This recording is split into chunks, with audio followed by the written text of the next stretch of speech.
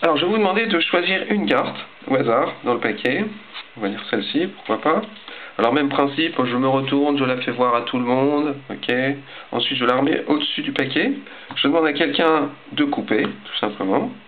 Voilà. Et juste en frottant, comme ça, le dessus du paquet, eh bien, je vais changer la couleur de votre carte. Voilà. Il suffit d'étaler comme ça pour se rendre compte qu'effectivement, on a bien une carte qui est devenue rouge. Quelle était votre carte L'As de carreau. Très bien. Bon, c'est pas terminé.